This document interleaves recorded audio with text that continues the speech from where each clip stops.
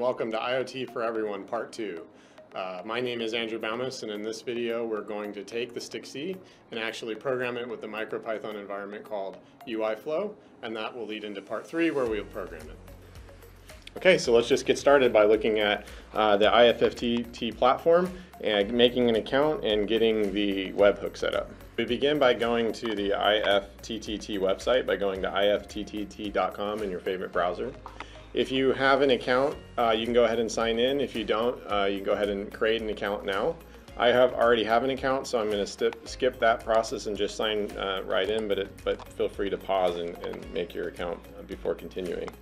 I'm going to go ahead and just log in with my Google account because it's a little bit easier. So I'll continue with Google. And now I'm logged into IFTTT. If you've never used IFTTT before, it's basically a cloud platform that lets you connect uh, various services together in a way that they don't uh, naturally already integrate. And so they do that through something called activities. And what we're trying to do is create an activity that will connect uh, webhooks to emails, because that was sort of our proposed solution. So to do that, we're going to go to our uh, user accounts icon, go to create, uh, we need to move to the IFTTT platform by clicking this link. And when you log in, if you haven't ever been to the IFTTT platform before, it'll ask you to create a, a, a, company. That company really is just representing you or whatever you're developing this IoT device for. So feel free to name it however you want. I've just named mine my username, Abalmos. And so after you create your company, you'll have a screen like this, at which point you can go to applets and you can create a new applet. When, you, when the page finally loads, we're going to define a trigger and an action. And so uh, if we go back to our slides for one second, you can see that the IoT device is supposed to use a webhook into the IFTTT platform. That's the trigger when that webhook happens. And that action or the result of the trigger is an email going down to wherever the predefined email is. So if we go back to IFTTT's page, we can see that they want us to tell them what the trigger is. We can type in webhook and select webhooks. Underneath webhooks, there's really only one type of trigger. That is when, you, when the cloud receives a web request to do something. So we'll go ahead and select that one. The event name is sort of a user-friendly name for what this webhook will mean. So in this case, we're going to call it order supplies. And the default value is the default uh, name, or sort of the, the programmer's name, if you will, for this webhook. And so it shouldn't have things like spaces or anything like that, and it should be somewhat short, but maybe uh, descriptive. In this case, probably just order supplies is good again, but we'll use an underscore instead of a space. Um, when a person enables your activity in their IFTTT account, uh, they'll be able to name it whatever they want. This, what you're typing here is just your suggested default. Okay, so now we have the webhook hooked up. We need to tell IFTTT what the action will be. You can have actually many actions if you want. In this case, we only want to send one email, so we'll only add one. So we do that by clicking action. This, we search their services they have available. We'd like to send an email, so we pick email. And the only really thing email can do is send an email, so we'll choose that. Okay, then the first uh, field of this service is the subject, and this is the subject uh, of the email that will get sent. So I'm going to go ahead and delete the default here and make the subject, it's time to order, oops, supplies. Okay. And then in the body uh, field is whatever is going to be in the body of the email. And so I'm going to delete the default again and say on. Oops. And if you look down here, there's this add ingredients option. And so built into this service is some what they call ingredients or data that's defined uh, at the time that the activity runs. And so one of them is the occurred at. So you can say on occurred at someone indicated that supplies need to be ordered. And now when the email comes, it'll say something like, on February 3rd, 2019 and 4:59 p.m. Someone indicated that supplies need to be ordered. So just in case the emails get confused or lost, you can go back and, uh, and order them and know if, if you've handled it or not. We could create more actions if we want, but we don't, uh, we don't need anything other than the email for this case. Now we need to give the applet a title. This is basically just for the IFTTT's uh, web UI so that you can figure out what applets you have on and off. So we'll just call it email when uh, supplies are low. And the description is also required, so we'll just write uh, applet that sends email low. And you can really put whatever you want here. Okay, then we'll click Save.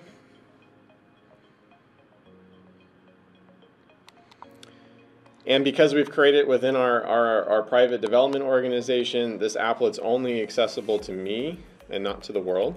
But uh, if you purchased uh, the paid access to IFTTT, you could actually share this with other people and they could, they could enable it themselves.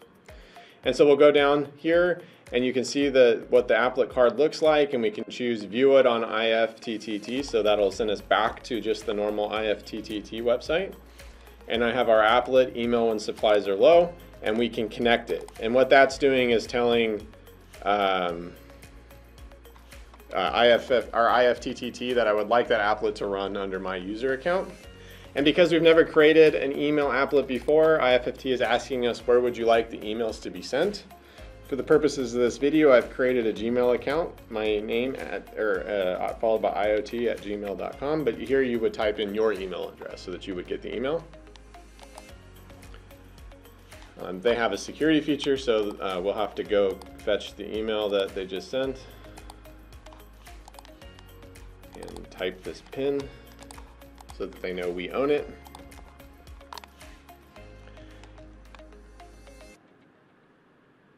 And now we're uh, enabling the applet. And here we can make the webhook name whatever we want, but we'll go ahead and just use the uh, default that we uh, supplied. And now we're connected. Okay, so we can actually test this already. So if we go to home, and you'll see now we it'll show the different applets that we have or and services that we have connected. We can go into webhooks, and within the webhook, it'll show you that the the that that's the service is connected to our, our, our email when supplies low applet. And if we go up to documentation, it'll teach us how we're supposed to use this uh, webhook. And so this is the URL that you're supposed to use, and you fill in right here where it says event with the name of the event that you uh, created. So we, we called it order supplies. And now basically, as long as you make a web request to this URL, uh, or as soon as you make a web request to this URL, uh, a email will get sent to you to the email that you have on file. So if we go ahead, copy the email, and remember we said that the IoT device doing a webhook is the same thing as a browser going to the same location. So if we open up a new tab, paste that uh, URL into it and click enter, you'll get a message saying congratulations. And if we go back to our email and wait a second, you can see we've gotten an email from the IF, our IFTTT platform. It's time to order supplies and it has the event time in it. And so now we've uh, uh, built up the cloud side. We don't even really need to think about it much anymore. We can turn our attentions to building the device, and all it really needs to do is make sure it's, going it's hitting this web address uh, whenever the button gets pushed. So the device we've selected for this uh, uh, video is the M5 Stack 6 or Stick C. There are lots and lots of devices out there on the market that you can use uh, to build something like this. This particular product has some um, features that make it very easy for you to get started as a beginner, and that's why we've selected it.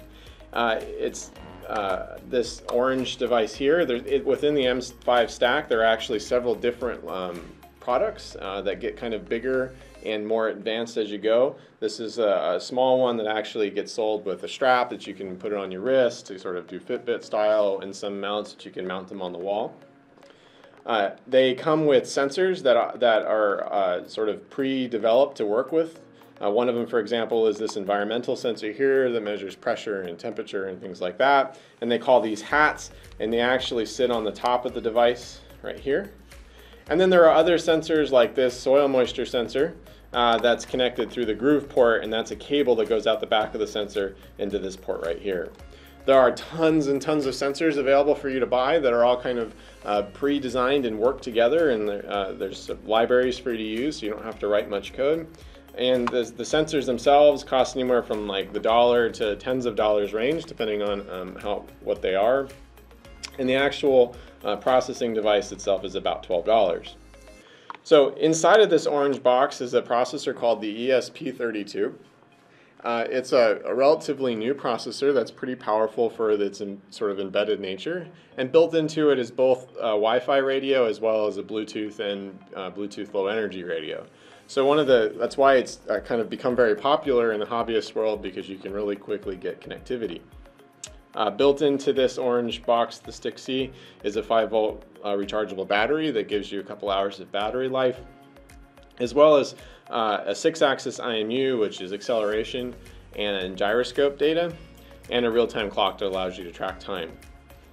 Built into the case are, are two user buttons, an LCD screen that you can write graphics and text to, a red LED that can indicate status, microphone uh, inputs, IR transmitters, uh, and a various other sensors uh, attachable through the hat and the Grove port like we've already talked about. So you might be wondering, okay, it's a great platform, it's cheap, but how do we program it? Well, there's a lot of ways to program it all the way from plain traditional C to a very high level thing called UI flow. So quickly we'll just go through a few of them, but we'll focus only on, on the highest level one.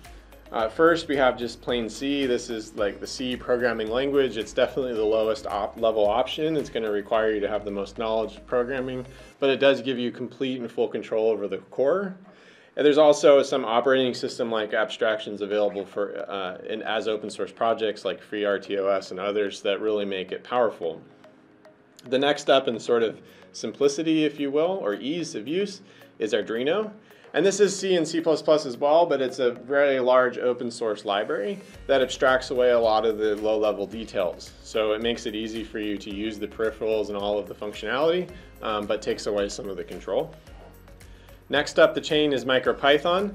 This is a forward-thinking open source project that actually implemented a very light version of the Python 3 language on microcontrollers directly. So it allows you to use the Python language, which is um, notable by um, uh, beginners and advanced programmers alike and its ease of use and um, uh, sort of the ability to just jump in and use it without having to be an expert beforehand. It increases uh, the developer's efficiency and just makes a lot of things easy. It's a little weird for a high, very high level language like that to be running on a really low level platform like your microcontroller, but MicroPython has, seems to have bridged that uh, gap pretty well. And so then lastly is UI flow, and that's really what we're going to be using. UI flow is nothing more than sort of a graphical layer on top of MicroPython. So underneath you'll actually be using MicroPython, but you won't have to write any of the code.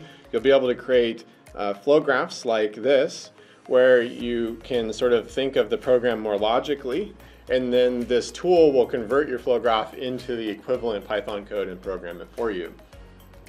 One of the other advantages uh, UiFlow has is its ability to be uh, programmed over Wi-Fi. So you don't actually need this device connected to your computer to be able to program with it. That, that uh, simplifies development. It also makes it easy for you to push updates to your devices uh, once they're already installed and deployed. Uh, if the battery life isn't good enough for you, you may still need a battery or a cable, USB-C cable plug into it, but merely just for power, so you can use sort of like a traditional phone adapter or something like that uh, to, to power this device. They also make uh, bigger batteries that you can attach to the package to give it a better battery life. Okay, so to get started, oh, uh, I should mention also that UiFlow has a ton of documentation to help uh, bridge the gap from this video to more complicated things, and this here's the link uh, that's usually up, it's updated quite often. So to get started using UiFlow, we have to actually flash UiFlow to the USB or to the uh, Stick C device. This uh, is the only time that you'll have to connect the device to the computer, and it's sort of the, the most technical part of the whole project, although it's very uh, much just point and click if you know what you're doing. So let me just go through and show you how, uh, and then uh, once you do it once, you won't ever have to do it again. So we start by going to the Start menu and going to the Device Manager. And the reason we need to go to the Device Manager is because we need to know what uh, COM port the, the uh, Stick C will be. So if we open up the Device Manager and we go to the ports option here, we can see right now that there's only a COM3. If I go ahead and plug the device into the computer, when I plug it in, it'll update and we have a new device, COM4, and so now we know that our Stick C is known to Windows as COM4. Okay, to go ahead and get it programmed, we'll start by uh, going to um, the UI Flows website. So we'll go to flow.m5stack.com. This will be where you do almost all of your work once we do the first flashing. This is where all of the programming happens. But to get started, we, we're going to we're gonna skip all these fields and go right down to, to M5 Burner. And if you have Windows or Mac, you can choose which one you want. Here we're running Windows, so we'll, we'll download the Windows. And I've actually already downloaded because it's our 63 megs, so instead of making you watch the download uh, indicator with me, I'm going to go ahead and click cancel and just go uh, to where I downloaded it on the desktop. And uh, I, when, I, and when I first downloaded, I only had the zip, so if you right click, you can do extract all, and you can tell it to extract it wherever you would like. Here I've extracted it right next to it, so I can go into the folder, and then I can actually run the tool, M5 Burner.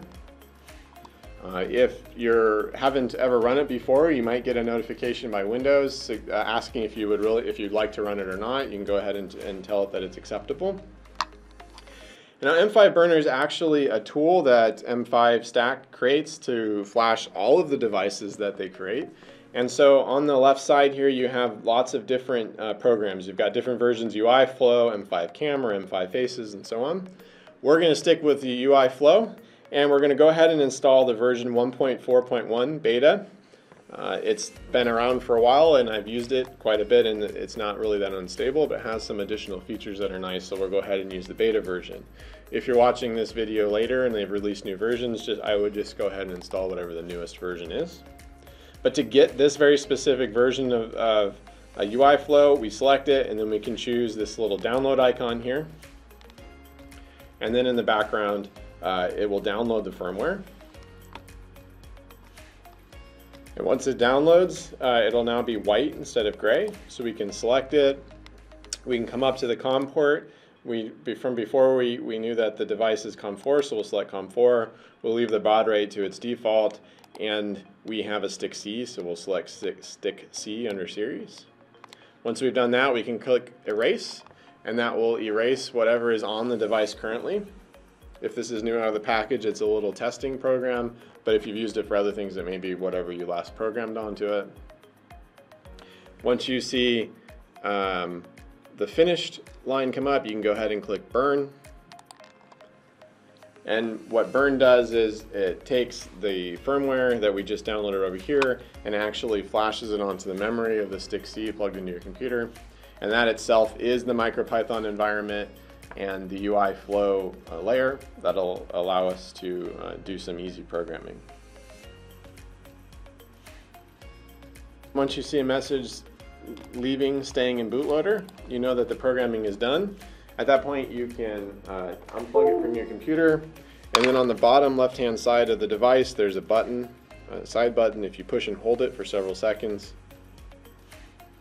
the device will turn off and then if you push it again it will turn on and you should see a UI Flow logo.